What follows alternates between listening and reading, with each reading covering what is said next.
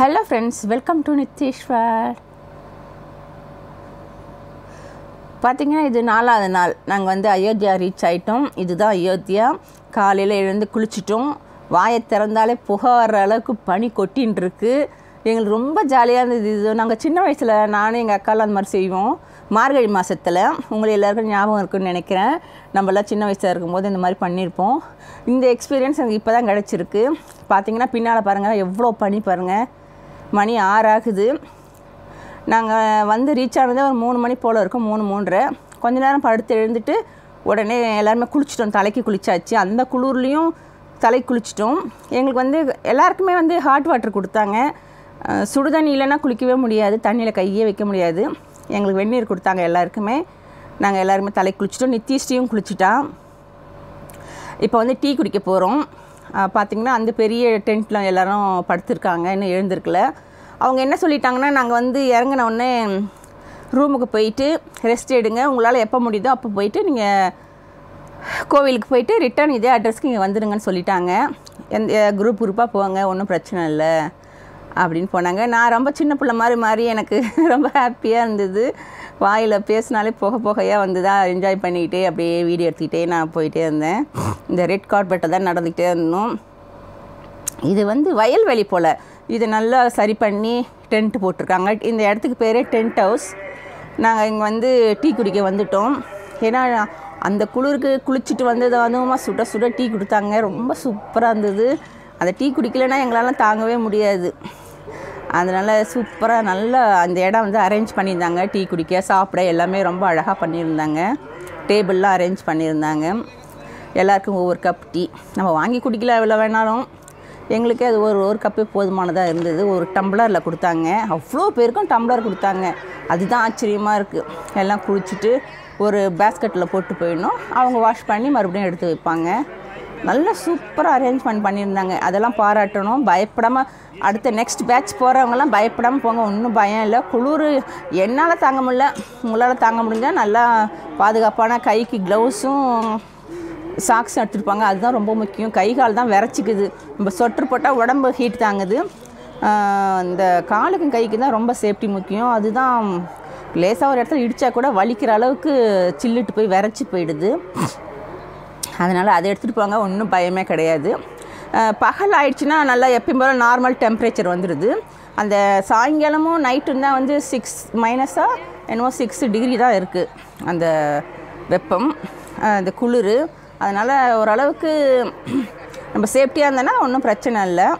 நம்ம வீட்டுக்குள்ளேயே இருந்தோன்னா தெரிஞ்சிருக்காது. நம்ம அது வந்து பொது இடங்கிறதுனால குளிர் ஓவராக தெரியுது வெட்ட வெளி. இந்த டென்ட்டு போட்டிருக்காங்க. இருந்தாலும் தாங்கிக்க முடியாத அளவுக்கு தான். ஏன்னா இது ஃபஸ்ட்டு எக்ஸ்பீரியன்ஸ் அப்படிங்கிறதுனால என்னால் தாங்கிக்க முடியல.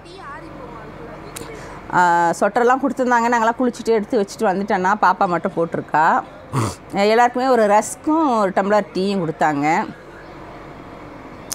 அதுக்கப்புறம் குடிச்சிட்டு எல்லாம் பேசிக்கிட்டு இருந்தோம். எல்லாம் எப்படி போகிறது என்ன ஏதுன்னு குரூப்பாக போகிறதா இல்லை தனித்தனியாக போயிட்டு சாமி கும்பிட்டு வந்துடலாமா அப்படின்ட்டு. ஏன்னா லட்சக்கணக்கான பேர் இருப்பாங்க அந்த இடத்துல. இப்போ இது தனி இடம். அயோத்தி கோவில் இருக்கிற இடம் தனி இடம். அதனால் இதை எப்படி நம்ம பிளான் பண்ணுறதுன்னு நாங்கள் நாங்கள் குரூப்பாக வந்திருந்தோம்ல அவங்களாம் செட்டாக போகிறதா இல்லை நாங்கள் அஞ்சு பேர் இருந்தோமா? நாங்கள் மட்டும் போயிட்டு வர்றதா? என்னன்னு யோசனை பண்ணிகிட்டே இருந்தோம். அப்புறம் ஒரு வழியாக நாங்கள் எல்லாமே அஞ்சு பேர் மட்டும் போயிட்டு ஏன்னா அவங்கெல்லாம் தனித்தனியாக குரூப்பாக போவாங்க எல்லாம். அப்படி இருக்கும்போது நம்ம தனியாக போய்க்கலாம் அப்படின்னால சொல்லிவிட்டு நாங்கள் யோசனை பண்ணிகிட்டே இருந்தோம். டீ குடிச்சிட்டு வெளில வந்துட்டோம். கொஞ்சம் மறுபடியும் ரூமுக்கு போயிட்டு ரெஸ்ட் எடுத்துகிட்டு அப்புறம் சாப்பிட்டுட்டு ஒம்பது மணிக்கே கிளம்பலான்னு நாங்கள் ஐடியா பண்ணியிருந்தோம். நல்லா அதுக்குள்ளே கொஞ்சம் கொஞ்சமாக வெயில் வர ஆரம்பிச்சிடுது வெயில் வந்தாலுமே அந்த பனியோட தாக்கம் குறையவே இல்லை. இதில் வர அந்த தண்ணி வேற தலையெல்லாம் பிசு பிசுன்னு நல்லாவே இல்லை. தலைக்கு தண்ணி ஊற்றினோடனே மாறி முடியெல்லாம் ஒட்டிக்கிட்டு தண்ணி வந்து நல்லா இல்லை அவ்வளோவா. குளிச்சிட்டோம் ஆனாலும் பரவாயில்ல அப்படின்னு எல்லாருமே குளிச்சிட்டோம். குளிச்சதுக்கப்புறம் தான் தெரியும் தலைக்கெல்லாம் பிசு பிசுன்னு ஒட்டின்னு இருக்குது சரியாக காய மாட்டேங்குது. அப்புறம் ஒரு வழியாக நாங்கள் எல்லாம் கொஞ்ச நேரம் வெயிலில் நின்று அந்த தலைமுடியெல்லாம் காய வைக்கலான்ட்டு நின்றுட்டு இருந்தோம். அவ்வளோ இதமாக இருந்தது எங்களுக்கு. அந்த வெயிலில் நின்று சூப்பராக இருந்தது. நித்திஷ்டி கையில் லேசாக ஏதோ குத்திக்கிட்டு இருந்துச்சு. அதுதான் காமிச்சிட்ருக்கா எங்கிட்ட அதுக்கப்புறம் நல்லா நாங்கள் மறுபடியும் அந்த டென்ட்டுக்கு போயிட்டோம். கொஞ்ச நேரம் ரெஸ்ட் எடுத்துட்டு மறுபடியும் சாப்பிட வந்துட்டோம். காலைல பிரேக்ஃபாஸ்ட் சாப்பிட வந்துட்டோம். கரெக்டாக இது ஒரு எட்டரை மணின்னு நினைக்கிறேன். எல்லாருக்கும் ஒரு பிளேட் கொடுத்தாங்க. சென்னா சன்னா மசாலா அப்புறம் சப் பூரி கொடுத்தாங்க எல்லாருக்குமே. ரெண்டு ரெண்டு பூரி கொடுத்தாங்க. பூரி சாப்பிட்டுட்டு அதோட நாங்கள் கிளம்பிட்டோம். எவ்வளோ வேணாலும் சாப்பிட்டுக்கலாம். ஒன்றும் கணக்கெல்லாம் கிடையாது. வயிறார எல்லாம் நிறைய சாப்பிட்லாம். அழகாக சாப்பிட்டுட்டு கிளம்பலாம் அப்படின்ட்டு நாங்கள் ரெண்டு பூரி வாங்கிட்டோம். எல்லாமே பரவாயில்ல நல்லா இருந்தது. சூப்பராக இருந்துச்சு. குறை சொல்கிறது எல்லாம் சுட சுட அது. சின்ன மசாலா இதெல்லாம் கொடுத்துருந்தாங்க. அதுக்கப்புறம் கொடுத்து சாப்பிட்டுட்டு மறுபடியும் டீ கொடுத்தாங்க ஒரு ரவுண்டு அதையும் குடிச்சிட்டு பொறுமையாக நாங்கள் கிளம்பலான்னு சொல்லி பிளான் பண்ணிட்டோம். சாப்பாடை பொறுத்த வரைக்கும் அங்கே எந்த பிரச்சனையும் இல்லை. எல்லாருமே கேட்குறீங்க செலவு எவ்வளோ ஆச்சு? செலவு எவ்வளோ ஆச்சு? நான் இங்கே நாங்கள் மூணு பேருக்கும் வந்து ஒரு ஆளுக்கு மூவாயிரத்தி எண்ணூறுரூவா பணம் கட்டணும். அதுதான். மற்றபடி எந்த செலவுமே கிடையாது எங்களுக்கு. நான் இதை பற்றிய தனியாக ஒரு வீடியோ போடுறேன். ஏ டு இசட் அதாவது எங்கே கிளம்புறோம் எப்படி என்னன்னு. இது வந்து நான் இந்த அடுத்து கோவிலுக்கு போக போகிறோம் அதை பற்றி நான் உங்க கூட ஷேர் பண்ணிக்கிறேன்.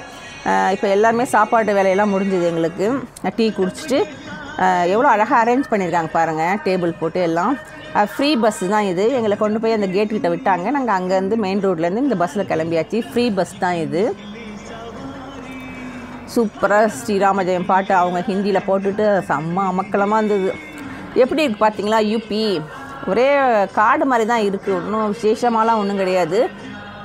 ஊர் தனியாக இருக்கா சிட்டி மாதிரி தெரியல. இது ஹைவேங்கிறதுனால இப்படி இருக்கா இல்லை என்னன்னு அதெல்லாம் ஒன்றுமே தெரிஞ்சிக்க முடியல. யாராவது நமக்கு சொந்தக்காரங்க இருக்காங்க பட் நம்ம அடிக்கடி போக வரன்னு தான் நமக்கு எல்லாமே புரியும் தெரியும். இதுவே ஏதோ கடவுள் எங்களுக்கு ஒரு நல்ல வாய்ப்பை கொடுத்ததுனால கிடைச்ச பயணம் இது. கொஞ்சம் ஒரு ஒன்றரை கிலோமீட்டர் போல் அஞ்சு கிலோமீட்டர்.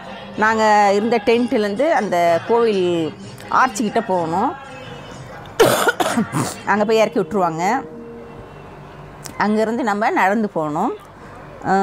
நடந்து போகணுன்னா உள்ளெல்லாம் ஆட்டோலாம் என்ட்ரி கிடையாது. கோயில்கிட்ட போகிற வரைக்கும் ஒரு ஒன்றரை ரெண்டு கிலோமீட்டர் போல் நடக்கணும். எல்லாருமே யாருமே எதிர்பார்க்கல. எல்லாம் நடக்க ஆரம்பிச்சிட்டாங்க. ஜெய் ஸ்ரீராம் ஜெய் ஸ்ரீராம் சொல்லி நடக்க ஆரம்பிச்சிட்டாங்க. நாங்கள் தான் கொஞ்சம் தயங்கிக்கிட்டே இருந்தோம். பார்த்தீங்கன்னா ரோடெல்லாம் எப்படி இருக்கு பாருங்கள் ப்ளைனாக இதே மாதிரி நம்ம ஊர் மாதிரி தான் இருக்குது ஒன்றும் எந்த மாற்றமும் கிடையாது. ஆனால் என்ன சொல்கிறது விவசாயங்கள் அவ்வளோவா இல்லையா என்னன்னு தெரியல. ஆனால் எங்கே பார்த்தாலும் ஒரே காட்டு பகுதி மாதிரி தான் இருந்தது. மரம் செடி கொடி அவ்வளோதான் இருந்தது. விவசாயங்கள்லாம் இல்லை. அந்த ஊர் ஆட்டோ எப்படி இருக்கு பாருங்கள்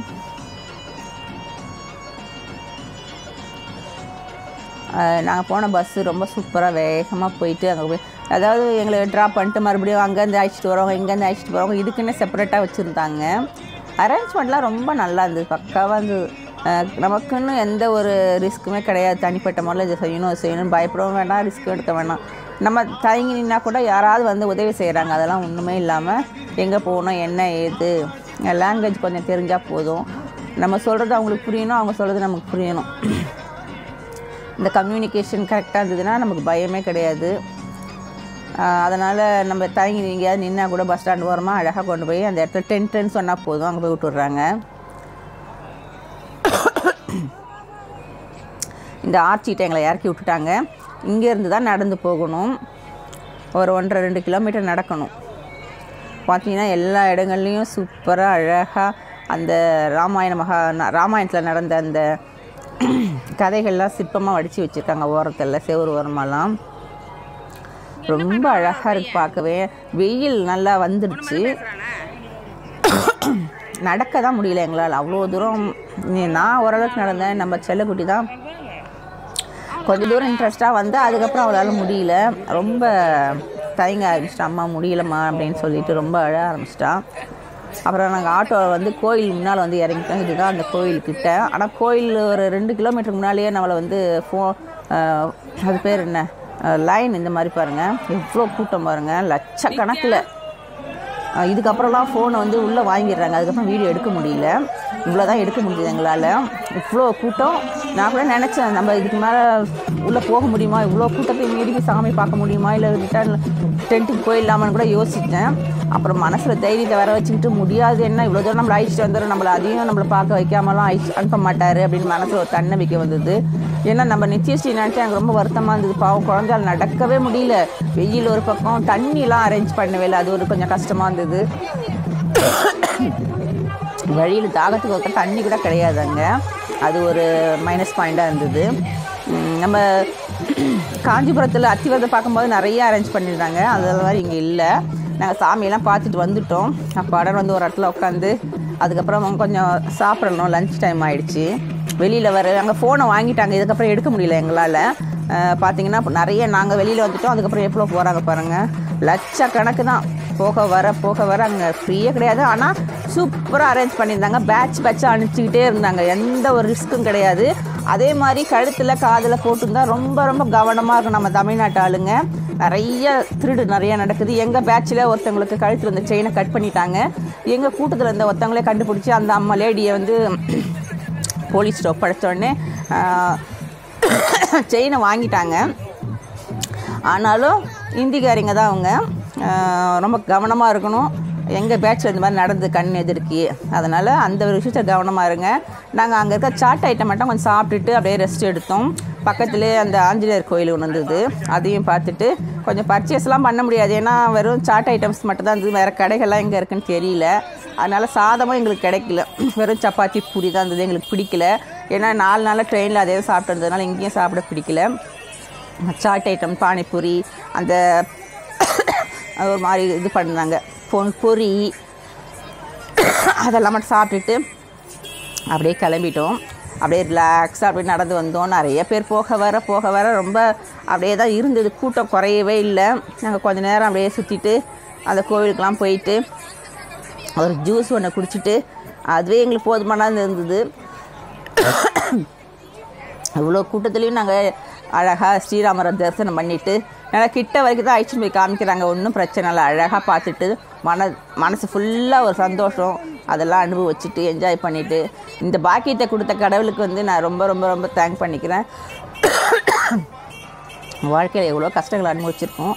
மறுபடியும் அதே பஸ்ஸில் அந்த ஸ்டாண்டுக்கு வந்துட்டு அங்கேருந்து ஆட்டோ பிடிச்சி நாங்கள் இருக்கிற டென்ட்டுக்கு வந்து வந்தாச்சு ஓரளவுக்கு இப்போ ஆட்டோவில் வந்துட்டுருக்கோம் இதெல்லாம் வர வழியில் எல்லாமே வீடியோ கேப்சர் பண்ணிட்டு வந்தேன். ரொம்ப அழகாக இருந்தது.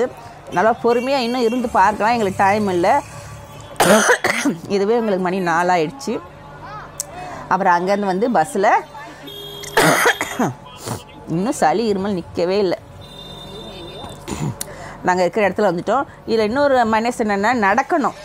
எங்கள் டென்ட்டு இருக்கிற இடத்துக்கும் பஸ் ஸ்டாண்ட்லேருந்து நான் ரொம்ப தூரம் நடக்க வேண்டியதாக இருக்குது ரொம்ப கஷ்டமாக இருக்குது அதுக்கு ஏதாவது அரேஞ்ச் பண்ணியிருந்தாங்கன்னா ரொம்ப நல்லா இருந்திருக்கும். ஆனால் அவங்க அதை செய்யவே இல்லை. ரொம்ப கஷ்டம். ஏன்னா வயசானவங்க தான் நிறைய பேர் வராங்க.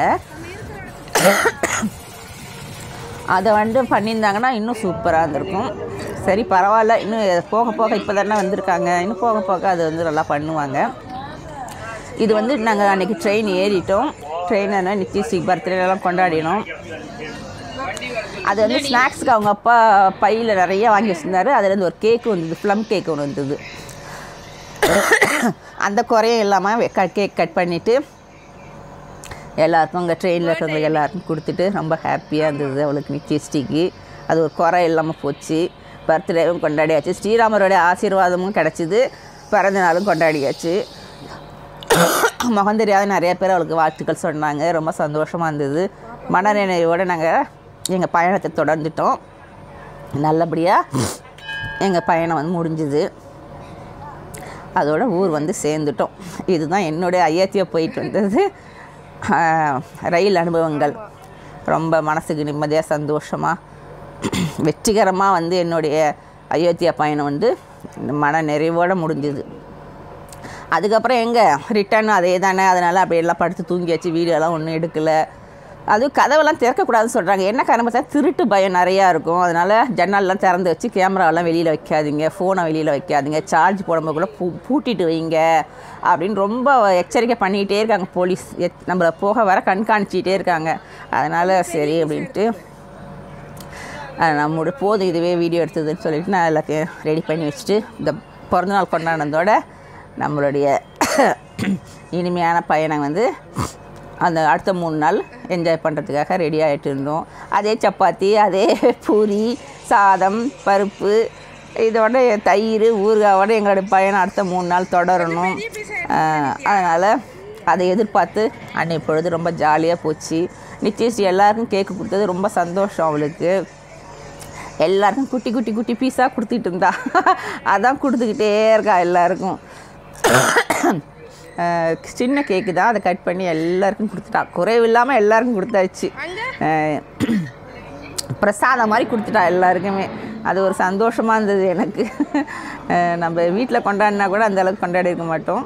நாங்கள் மறுபடியும் சூப்பராக ஸ்டேஷன் வந்து கொஞ்சம் ரிலாக்ஸ் பண்ணிவிட்டு இப்படி எங்களுடைய பயணம் அப்படியே தொடர்ந்துட்டு நல்லா தான் இருந்தது. ரொம்ப எதிர்பார்ப்போட மறுபடியும் போகிறவங்க என்ஜாய் பண்ணி போங்க. ஒன்றும் பயம் கிடையாது. ரொம்ப சேஃபாக இருப்பீங்க. இந்த மாதிரி போலீஸ் எப்பயும் கன் ஷாட்டோட கையில் வச்சுக்கிட்டு நம்மளை பாதுகாப்பாக தான் அழைச்சிட்டு போகிறாங்க எந்த குறை எந்த விதத்துலையுமே குறைவு கிடையாது. சாப்பாடாகட்டும் பாதுகாப்பாகட்டும். அங்கே அயோத்தியாவுக்கு போய் நமக்கு அங்கே தரிசனம் பண்ணுற இடத்துல ஆகட்டும் எல்லா இடங்கள்லையுமே நமக்கு பாதுகாப்பு தான் முக்கியங்கிற மாதிரி நமக்கு அவ்வளோ பாதுகாப்பு கொடுத்துருந்தாங்க. அதனால் பயப்படாமல் போங்க. சேஃப்டியாக நிறையா குளிர் தாங்குற அளவுக்கு கொஞ்சம் எடுத்துகிட்டு போங்க. இப்போ இந்த மாதம் வரைக்கும் தான் இந்த குளிர். அதுக்கப்புறம்லாம் பார்த்தீங்கன்னா கடுமையான வெயில். அதை வந்து நம்மளால் தாங்கவே முடியலங்கிற அளவுக்கு நம்ம ஏசி ரூமை தேடுற அளவுக்கு இருக்கும். அதனால் இந்த குளிருங்கிறது சாயங்காலம் அஞ்சு மணிலேருந்து விடிய காலையில் ஒரு ஆறு மணி வரைக்கும் இருக்கும். அதை தாங்கிக்கிட்டால் போதும். அதுக்கப்புறம் மறுபடியும் நார்மலான டெம்பரேச்சரில் தான் வெயில் வந்துடுது அதனால் அதை மட்டும் தாங்கிக்கிற அளவுக்கு நமக்கு சேஃப்டியாக இருந்தால் போதும். மற்றபடி நம்மளுடைய இந்த பயணம் வந்து ரொம்ப ரொம்ப சூப்பராக இருக்கும் மெமரபுளாக இருக்கும். வாழ்க்கையில் நமக்கு இது ஒரு தடவையாவது போகணும்னு நினைக்கிறவங்க கண்டிப்பாக போகலாம். இந்த வாய்ப்பு கிடைச்சிதுன்னா ம மிஸ் பண்ணாதீங்க. இதுக்கு நம்ம கடவுள் கொடுத்த ஒரு என்ன சொல்கிறது ஒரு வாய்ப்பு. இதை பயன்படுத்திக்கங்க.